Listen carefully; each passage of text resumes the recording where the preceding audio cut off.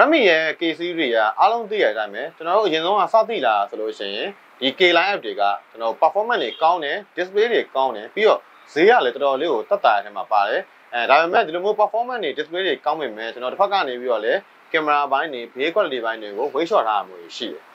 ဒါပေမဲ့အခုထွက်လာတဲ့ Redmi ရဲ့ K90 line မှာဆိုလို့ရှိရင်ဒီလိုမျိုးတွေလုံးဝမဟုတ်တော့ဘူးသူက build quality တွေပိုကောင်းလာတယ်ကင်မရာတွေလည်းမိုက်လာတယ် display တွေလည်းပိုကောင်းလာတယ် performance ကလည်းပြောကြမလို့ကောင်းလာတယ် ပြီးတော့နောက်ဆုံးချက်ဈေးကြီးလာအဲ့တော့ကျွန်တော်တို့အရင်ကလိုမျိုး cheap ဖြစ်ပြီးတော့ကျွန်တော်တို့ဒီ performance ကောင်းတဲ့ဖုန်းကိုရတယ်ဆိုတော့ဒီ K series ရဲ့ taste ကလုံးဝကိုပြတ်ထွက်သွားတယ်ပြောရမယ်ဆိုလို့ချင်းကျွန်တော်တို့ဒီလုံးဝဈေးကြီးလာတယ်အကုန်လည်းကောင်းလာတယ်ဒါက Redmi အနေနဲ့ဘာများဖြစ်ချင်တာလဲတော့ကျွန်တော်လည်းမသိဘူးဘာဖြစ်ချင်တခုတော့တခုခုပဲနော် Redmi ကတော့သူ့ရဲ့ K series ပေါ်မှာဘာတွေလုပ်ချင်နေရလဲဘာတွေဖြစ်ချင်နေရလဲဆိုတော့မသိပေမဲ့ကျွန်တော်တို့အားလုံးသိချင်တဲ့ Redmi ရဲ့ K series ရဲ့နောက်ဆုံး drop K90 Pro K90 နဲ့ K90e အကြောင်းကိုပြပြပေးတော့မှာဆိုတော့ကျွန်တော်ဗီဒီယိုလေးကိုဆုံးဖြတ်ချက်ကြည့်ကြည့်အောင်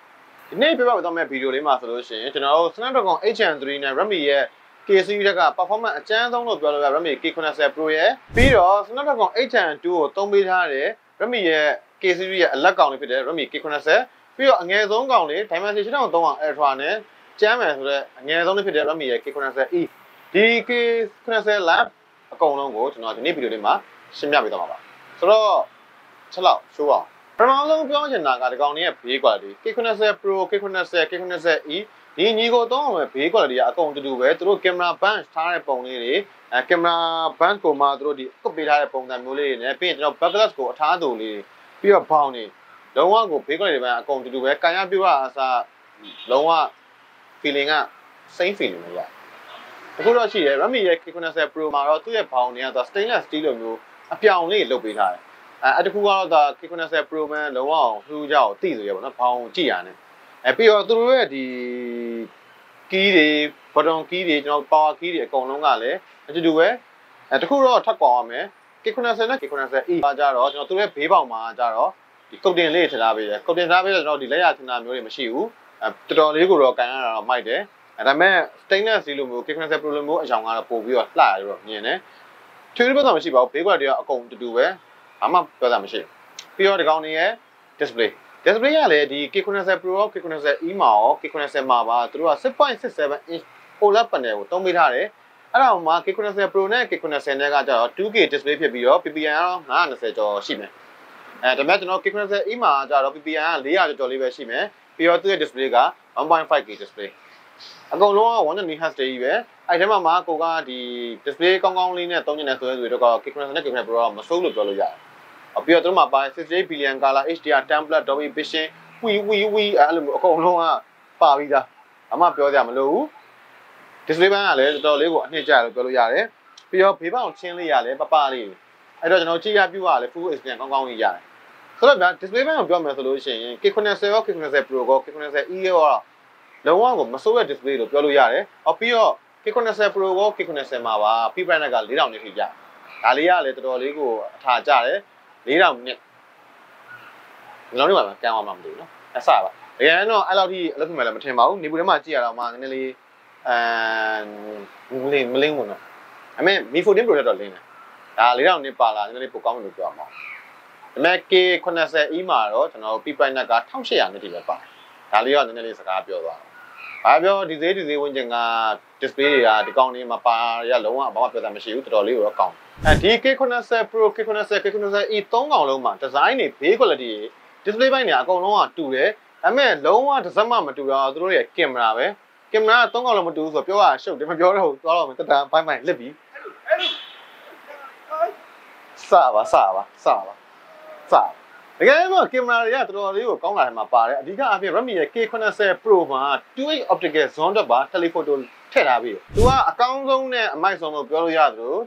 ကင်မရာကလည်းတော်တော်လေးကိုကျန်းတာထည့်ပေးထားတယ်ဆိုတော့ဒီကောက်မှာသုံးပေးထားတာက15 megapixel wide camera ကိုသုံးပေးထားတယ်အဲ့ဒါကမှကျွန်တော်တို့က 2x optical zoom ကိုကောင်းကောင်းဆွဲပြီးရိုက်လို့ရအောင်ဆိုတော့သူ့မှာထည့်ပေးထားတာက15 megapixel telephoto lens ကိုထည့်ထားပေးတယ်အဲပြီးတော့ထုံးစံမဲ့ကျွန်တော် ultra wide တွေပါလိုတယ်အဲ့အတွက်သူက12 megapixel ultra wide ကိုထည့်ထားပေးတယ် ဆိုတော့ပြောမယ်ဆိုလို့ရှိရင်ကင်မရာဘိုင်းကောဘာတော်တော်လေးကိုကောင်းထမှာပါတယ်အဲပြီးတော့ဒီကောင်းမှာ OIS ဆောင်တာလည်းပါသေးတယ်အဲ့တော့ကျွန်တော်ဒီ shake ဖြစ်တာပဲဘာမှပြဿနာမရှိတော့ဘူးအဆင်ပြေတယ်အဲပြီးတော့ video quality မှာဆိုလို့ရှိရင် 8K ထိကိုတက်လို့ရမယ် selfie မှာတော့ K80 Pro မှာ 16 megapixel selfie ကိုထည့်ထားပေးတယ်အဲ့ဒါကိုမှကျွန်တော် video quality ကို 1080p ထိရိုက်လို့ရမယ်ဘာပြောဒီလို selfie camera တွေကျွန်တော် back camera တွေကောင်းကောင်းလေးလုပ်ပေးထားတာက K80 Pro တော့ကိုဒါမစိုးဘူးလို့ပြောလို့ရတယ်ပြီးတော့ကျွန်တော်တို့အလက်ကောင်ဖြစ်တဲ့ K90 ဒီကောင်းမှာဆိုလို့ရှိရင်တော့သူက15 megapixel ပဲအဲ့ဒါမှ OIS sensor နဲ့ရမယ်သူ့မှာထည့်ပေးထားတာဆိုလို့ရှိရင်15 megapixel wide OIS လာမယ်ပြီးရင်ကျွန်တော်တို့8 megapixel f5 ပါမယ်ပြီးရင်2 megapixel macro တော်တော်ကိုသိတာကွာသွားပြီ K90 Pro နဲ့ဆိုလို့ရှိရင်လုံးဝကွာသွားပြီ12 optical ပါဆိုတော့ကျွန်တော်တို့အိမ်မက်ဖြစ်သွားပြီ K90 series မှာဆိုလို့ရှိရင်အဲဗီဒီယိုကတော့တူတူပဲ 8K ရိုက်လို့ရမယ်ပြီးတော့ကျွန်တော် Canon ENS ပဲအကုန်ပါတယ်အမှပြပြောတာမရှိဘူးဒီ K90 ရုပ်ထက်လေးရလဲမစိုးလို့တော့ပြောလို့ရတယ်ကျွန်တော် performance နဲ့ display ပိုင်းဦးစားပေးထားတဲ့ဖုန်းတွေနဲ့ ဒီလိုရုပ်ထက်လေးရပါပြောလက်ခံလို့ရတယ်အစိမ်ပြေပြောမှာနော်ပြဆက်ဖီရတယ်တူတူပဲ16 megapixel ပဲအဲ့ဒါကိုမှ 1080p ရိုက်လို့ရတယ်ဗီဒီယို quality ကလည်းမစိုးဘူးအဆင်ပြေတယ်ဆိုတော့ဘာပြောဒီကောင်းရဲ့ကင်မရာပိုင်းလေးကတော့နည်းနည်းလေးတော့ weak သွားပေမဲ့မဆိုးလို့ပြောလို့ရတယ်ပြီးတော့ K90e ဒါတော့အငယ်ဆုံးဖြစ်သလိုဈေးတက်တာဆုံးလို့ပြောလို့ရတဲ့ကောင်သူမှထည့်ပေးတဲ့ကင်မရာဆိုလို့ရှိရင်တော့နည်းနည်းတော့ကွာသွားပြီ64 megapixel OIS ကင်မရာကိုထည့်ထားပြီးတယ် အဲ့ဒါကိုမှသူ့မှာ8 megapixel ultra wide နဲ့2 megapixel macro ထည့်ထားပြီးတယ်ပွင့်လင်းပြောရရင် macro ဘာဘာတော့တိတ်တော့မလို့ကျွန်တော်တို့ရှောက်သွားရိုက်နေရဗျာ macro နဲ့မျိုးလုံးကြီးပါအဲ့လိုသွားတိတိရိုက်တာမဟုတ်ဘူးမလို့တော့မလို့ဒါပေမဲ့ဘာပြောထည့်ထားပြီးတော့မဆိုးလို့ပဲပြောမောလေအဲ့လိုမျိုးလေးပေါ့ selfie မှာလည်းဒီကောင်ကထည့်ပေးထားတာကကြတော့16 megapixel selfie ပဲထည့်ထားပေးရယ် video quality ကလည်းအတူတူပဲ 1080p ပဲအဲ့တော့ကင်မရာပိုင်းတွေပါ selfie တွေပါကတော့ သူ့ဈေးသူ့နှုံမှာတော့ဒီ performance ကမဆိုးဘူးလို့ပြောလို့ရတယ်ဒီ Redmi ရဲ့ K70 Live ကကင်မရာတွေကတလူခုနဲ့တခုကလုံးဝတစ်စက်မှမတူပေမဲ့ထွက်လာတဲ့ဟာတွေကလည်းတစ်စက်မတူပါဘူးအမေသူကလည်းသူကတော့ကောင်းတယ် K90 Pro ကလက်ရှိမှာဒီ Redmi ရဲ့ K series ထဲမှာကင်မရာအကောင်းဆုံးလို့ပြောလို့ရသလို K90 ကလည်းမဆိုးတဲ့အနေအထားမှာရှိတယ်အဲ K90 E ကတော့သူ့သေးသူ့ဝင်ကျင်မှာတော့သူ့ကိုအဖြစ်တော့ပြောလို့မရဘူးကျွန်တော်ဘာပြောအမှတ်တရပုံရရတော့အဆင်ပြေသေးတယ် အခုရှိတာ K90 E မှာကဈေးသက်သာတယ် performance ကောင်းတယ် display တွေမိုက်တယ်ဆိုတဲ့ K series ရဲ့1 series တော့ကျွန်တော်နည်းနည်းလေးပြန်ရသလိုခံစားပြီးတော့ဒီ Redmi ရဲ့ K series ရဲ့ key point လို့ပြောလို့ရသလိုအားလုံးညှော်နေရကျွန်တော် performance ဘိုင်းကိုလာပြီး performance မှာဆိုလို့ရှိရင် Redmi ရဲ့ K90 Pro မှာက latest and greatest လို့ပြောလို့ရတယ် Android blocker မှာပေါ့နော်တော်တော်လေးကိုကျန်းနေတယ်လို့ပြောလို့ရတယ် Snapdragon 8 Gen 3ကိုတုံးထားပြီးဒီ8 Gen 3ကတော့သိရတဲ့အတိုင်းပဲကျွန်တော်ကိုကြိုက်တဲ့ game တွေကြိုက်တဲ့ software တွေကိုဒီပေါ်မှာ run ကြိုက်လို့ run လို့ရတယ်ထစ်တာငေါ့ရတွေပိုင်းမရှိဘူးလေးတာတွေပိုင်းမရှိဘူးလုံးဝ performance မှ perfect ပဲလို့ပြောလို့ရတဲ့ SoC ပြီးတော့ Redmi ရဲ့ K90 မှာဆိုလို့ရှိရင်အရင်နှစ်ကထွက်ထားတယ်ကျွန်တော် Snapdragon 8 Gen 2ကိုထည့်ထားပေးရ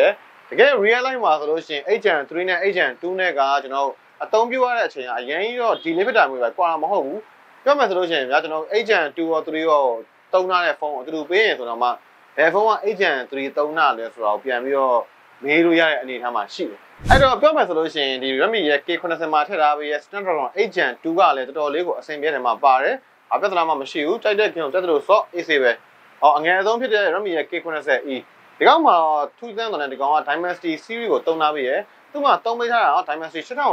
Ultra ကိုတုံးထားပြီးရဲ့ဒီ Dimensity 8300 Ultra ဆိုတဲ့ SoC ကလည်းတော်တော်လေးကိုကောင်းတဲ့ performance ရတယ်။ ဘာပြောဒီကောင်ကလည်း daily life မှာကျွန်တော် game တွေပါညာဆော့မယ်ဆိုတဲ့လူတွေကအဆင်ပြေတယ်ပြီးတော့ဒီ6သိန်းကျော်ဈေးလေးမှာဒီ Redmi ရဲ့ K90e ရဲ့ performance ကမစိုးလို့ပြောလို့ရရင်မှရှိသွားပြီအဲ့တော့ဘာပြောဒီကောင်ကလည်းအဆင်ပြေတယ်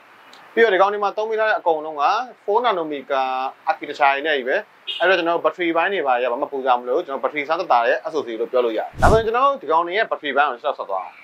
battery ဘိုင်းမှာဆိုလို့ရှိရင် Redmi K90 Pro နဲ့ K90 နဲ့ကတော့9000 mAh battery ကိုသုံးထားပေးရအတူတူပဲ အဲ့ဒါကိုမှ120 watt fast charging တွေပါတယ်အဲပြီးတော့ Redmi ရဲ့ K90e မှာဆိုလို့ရှိရင်တော့ battery နည်းနည်းလေးပို့ပြီးတော့များသွားတယ်9005 mAh ဖြစ်သွားတယ်အဲအဲ့ဒါကိုမှသူ့ရဲ့ charging watt ကကြော90 watt ဖြစ်သွားမယ်နည်းနည်းတော့နည်းသွားတာပေါ့ဒါပေမဲ့ဘာပြောဒီ120 watt နဲ့90 watt တွေဆိုတာတကယ်သွင်းတဲ့အခါမှာအရင်ထွေတူမိနစ်အများကြီးကွာသွားမှာမရှိဘူးအဲ့တော့ဘာပြောဒီ battery ဘိုင်းနဲ့ fast charging ဘိုင်းကတော့ဒီ K90 line မှာတော်တော်လေးကိုမစိုးတဲ့နေတာမှာရှိတယ်ဘာပြောမိုက်တယ်ကွာ တခုပေါ့နော်ကန်ဆိုးစွာနဲ့ဒီ K series တွေဖြစ်တဲ့အတွက်ကျွန်တော် one လက် charger တွေဟို charger တွေဒီ charger တွေဟိုချနေချနေရမပါပါဘူးဒါတော့နည်းနည်းလေးတော့ဟိုနေတာနည်းနည်းထက်ထက်ပေးလိုက်လို့ရှိရင်တော့နည်းနည်းပို့ပြီးတော့ကောင်းမယ်မဲ့မထက်ပြီးတော့မသုံးပါဘူးဗျာဒါပဲရှိရပါဘယ်တော့နိုင်မလဲဒီ Redmi ရဲ့ K90 lamp တစ်ခုလုံးမှာကျွန်တော်သုံးပေးထားတဲ့ speaker တွေကလည်း stereo speaker တွေပဲသုံးပေးထားတယ်အဲ့အတွက် K90 Pro မှာရော K90 မှာရော K90e မှာရောအတန်ကတွေကတော်တော်လေးကိုကောင်းတယ်မစိုးဘူးဆိုတဲ့နေရာမှာရှိတယ် အဲကျဲလဲကျဲလဲကြည်လဲကြည်တယ်ပြီးတော့ဒီကောင်ဒီမှာသုံးပေးထားတဲ့ fingerprint ကလည်း K90 ကော K90 Pro ကော K90e မှာရောအကုန်လုံးက industry fingerprint တွေပဲနှစ်ရလည်းမြန်တယ်တော်တော်လေးကိုမစိုးဘူးဆိုတဲ့နေရာမှာရှိတယ်ဟောပြီးတော့ဒီကောင်တွေက non debate လုံးနေဖြစ်တဲ့အတွက်လုံးဝ activate မလုပ်ထားရသေးဘူးကိုစင်ကထဲတဲ့အချိန်မှာအကို activate နေရမှာဆိုတော့ဒီ Kickstarter နဲ့ Kickstarter Pro ကနည်းနည်းလေးရောဈေးကနည်းနည်းလေးပိုကြီးနေလို့ပြောရအောင်နည်းနည်းနည်းပေါ့နည်းနည်းလေးပါ ဒီနောက်နေမှာဆိုလို့ရှိရင်လည်း Redmi ရဲ့ K90 Pro ကတော့ကျွန်တော်18 19 20ဝန်းကျင်မှာရှိပြီးတော့ Git ပေါ်မူတည်ပြီးတော့ဈေးကွာသွားလိမ့်မယ်အဲပြီးတော့ Redmi ရဲ့ K90 ကတော့15 14ဝန်းကျင်မှာရှိလိမ့်မယ်သူကလည်း Git ပေါ်မူတည်ပြီးတော့ဈေးကွာသွားလိမ့်မယ်အဲ K90 E ကတော့9သိန်းကျော်ကျော်မှာရှိတယ်သူတို့ပြောမယ်ဆိုလို့ရှိရင်ဒီ K90 Pro K90 K90 E တွေထဲမှာကိုကားပေါ့နော်ဒီကျွန်တော်တို့ performance ကောင်းကောင်းနဲ့ဈေးမကြည့်တော့ဘဲနဲ့ KC အမြင့်ဆုံးကိုသုံးနေတဲ့သူတွေအတွက်ကတော့ HN3 နဲ့ Redmi ရဲ့ K90 Pro ရွေးလို့ရသလို budget လေးနည်းနည်းလေးချိန်ပြီးတော့15ဝန်းကျင်လောက်မှာပဲ performance ကောင်းတာမျိုးလိုချင်တယ်ဆိုတဲ့သူတွေ display ကြီးတာမျိုးလိုချင်တယ်ဆိုတဲ့သူတွေအတွက်ကတော့ K90 ကတော့ဈေးကွက်ထဲမှာရွေးချယ်စရာဖြစ်နေမှာတော့မဆန်းဘူးပြီးတော့ဈေးသက်သာဆုံးနဲ့10သိန်းအောက်မှာ performance ကောင်းကောင်းလေးသုံးကျင်တဲ့လူတွေအတွက်ဒီ Redmi ရဲ့ K90 E ကလည်းတော်တော်လေးကိုအဆင်ပြေတဲ့ခင်မှာပါတယ်အကွာဈေးသက်သာဆုံးရွေးချယ်နေဆိုရင်တော့ K90 E လေးကိုရွေးပေါ့။ကောင်းလည်းဘာပြောမဆိုးပါဘူး K90 Pro line တွေပဲကန်ရလို့ feeling မျိုးရတယ်မိုက်တယ်ဆို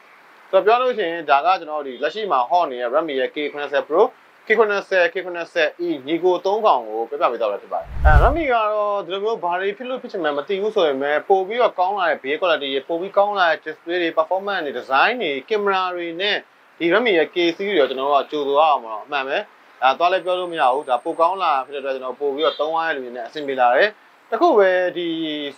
စော်ကေးလေးကနည်းနည်းလေးကြော့ကီးနေတယ်နော်အဲ့ဒါလေးကနည်းနည်းတော့ ပြင်ပေးလိုက်ရင်ပိုကောင်းတယ်ဈေးကြီးတာကိုပြောချင်တာပါနည်းနည်းဈေးကြီးညာလေးကို short ပေးရင်တော့အဆင်ပြေပါတယ်ကဲဒီဗီဒီယိုတော့လောက်ပါပဲဒီနေ့ကကျွန်တော် Redmi ရဲ့ K90 lamp အကြောင်းကိုပြပြပေးတာဖြစ်ပါတယ်ဆိုတော့နောက်ထပ်နေ့တွေမှာကျွန်တော်ဘယ်လိုဗီဒီယိုတွေလာမလဲဆိုတာတော့ကျွန်တော်တို့ပြေမှာကျွန်တော်စောင့်ကြည့်ပါအောင်ဟောပြီးတော့ကျွန်တော်ရှားပါဖုန်းတွေလည်းလာပါမယ်တော့ကရှားပါနေတဲ့ဖုန်းလေးတွေအတွက် review တွေလာတော့မယ်